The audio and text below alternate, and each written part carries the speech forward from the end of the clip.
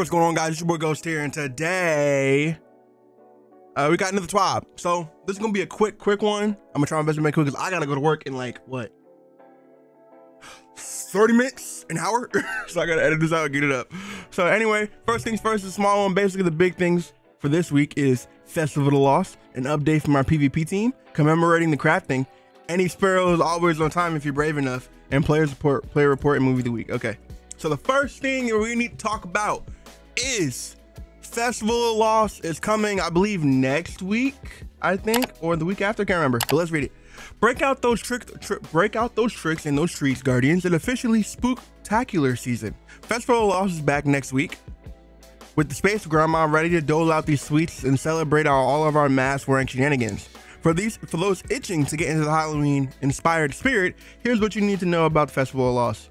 We're all, we're all we're really excited about the new addition this year that will make haunted sectors more rewarding when it comes to experiencing itself and the rewards they offer. For the first time ever, we're introducing legend haunted lost sectors. There's a lot of loot to snag, so let's break down what you're expected below.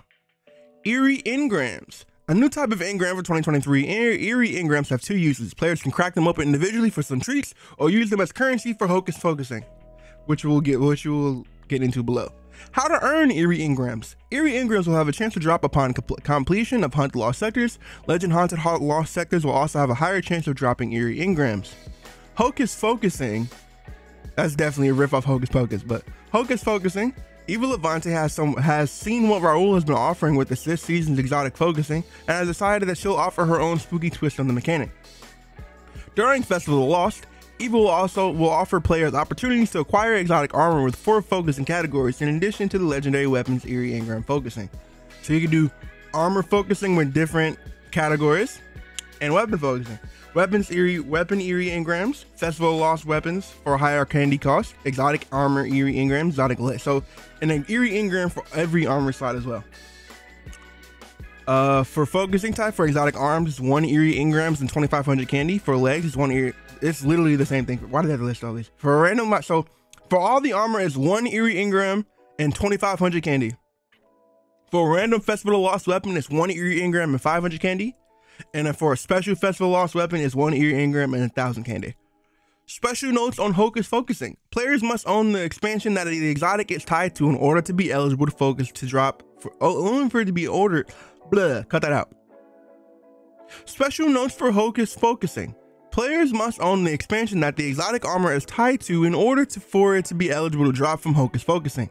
Requires expansion for each exotic armor piece is listed further below. The Forsaken counts the Forsaken pack counts towards the Forsaken expansion requirement. So if you need something for Forsaken, Forsaken, I'm sorry, the Forsaken pack will suffice.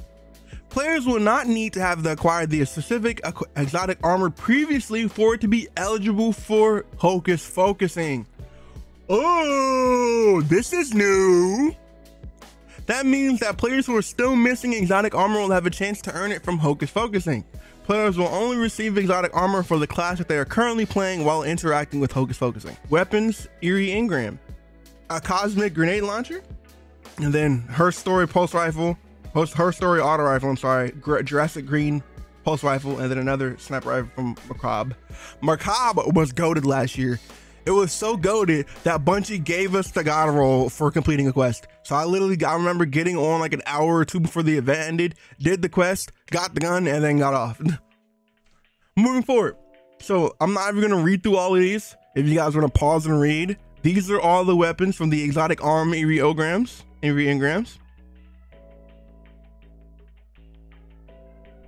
These are the exotic. Oh, look at this. this is, okay, I like that. I, I'm not gonna be using this armor, but it do look kind of cool. These are the these are the legs coming from the exotic legs Eerie Engrams.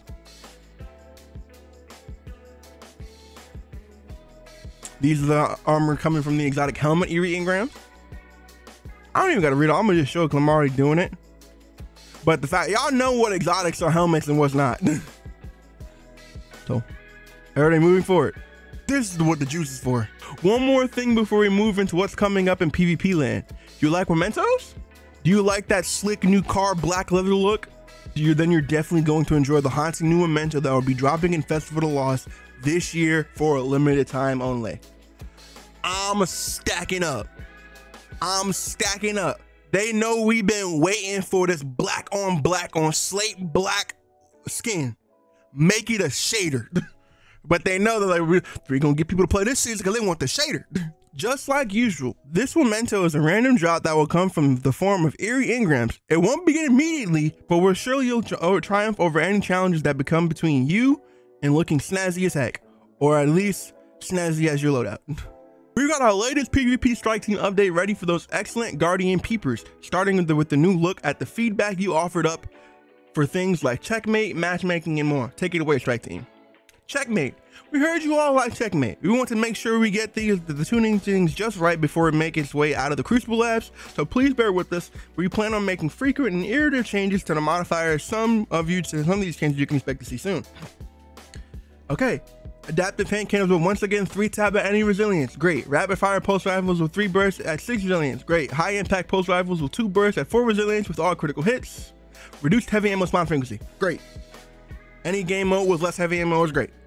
We plan on running Checkmate and Crucible Labs for the remainder of the season, so expect to see Control and Survival coming back for round 2. Matchmaking. Speaking of frequent and iterative changes, we are continuing to improve upon our matchmaking system.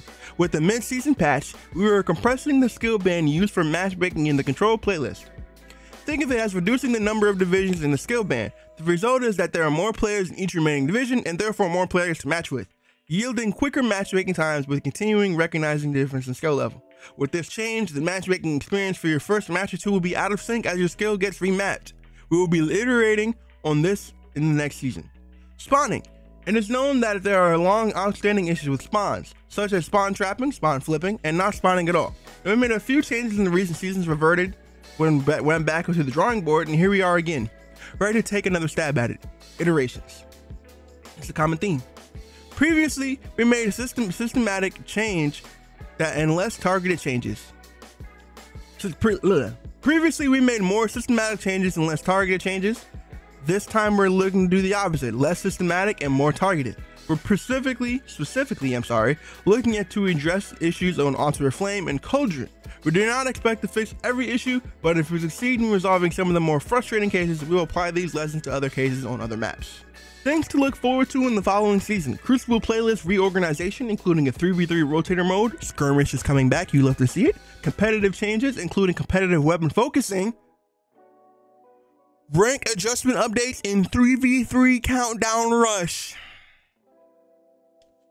You're telling me I can focus my competitive weapons? So you're telling me that God roll rose that I never got, I'm finally gonna be able to get? I finally have something to do with my 99 Crucible engrams halfway through the season? Trials flawed card rewards, rewards for win streaks less than 7, more checkmate modes, Dominion 3v3 Clash, aka Skirmish. We will be providing more details on, the, on those upcoming features soon. Alright, now for the Craftening. We're getting the emblem from the Craftening. In the loving-ish memory of the Craftening, Halloween may be the most spectacular holiday at fear of the fear, but the Craftening sure did give our dead team a, a nice scare back in September. There was chaos, mayhem, exotics acting like legendary weapons, legendary weapons acting like exotics, and nothing in the world made a lick of sense during the week period. Who needs Frankenstein when you can become your own mad scientist at the Relic? And Emmett? Oh, Emmett Wright. okay, you gotta be on that one.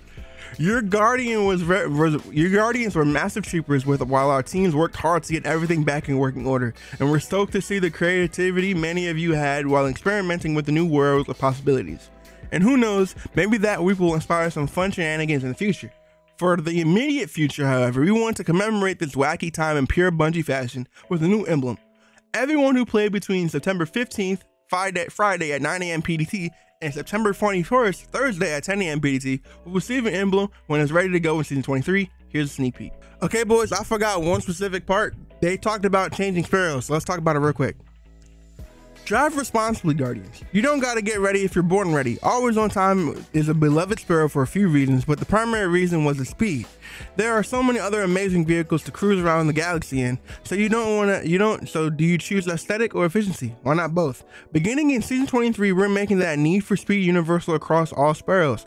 After all, you can't fight crime if you ain't cute, and that absolutely applies to our handy dandy modes of transportation too. Drive responsibly, Guardians. So, basically, if you guys didn't know, for the past like what year and some change, I think ever since they made, um, I think that's like since like what Beyond Light, always on time has been the fastest sparrow in the game. So there's never been a reason to not use it. And a while ago, they said they're gonna change it. So now they're finally changing it so where all sparrows with the same speed always on time. So you can put whatever one you want. And the only difference between always on time and every other sparrow is the fact that um always on time you when you're riding always on time you get less uh enemies shoot at you less basically. Like they they're less likely to shoot at you if i remember correctly. But overall this is a great change and uh, i'm gonna keep using sparrows that i already have because i never got always on time. And over the course of me raiding like once every couple of years i still don't have enough raid spoils. It's my fault. Don't really care. But yeah. Uh back to the video. And uh yeah. That's pretty much it and basically just saying drive responsibly and here's some uh known issues and stuff. But yeah i appreciate you guys being here. Um i'm gonna try to get this out before i go to work at 3:45. if not i got another video out going out at 3:45, and you'll see that one. Hope you have good one and remember stay spooky. I love you. Peace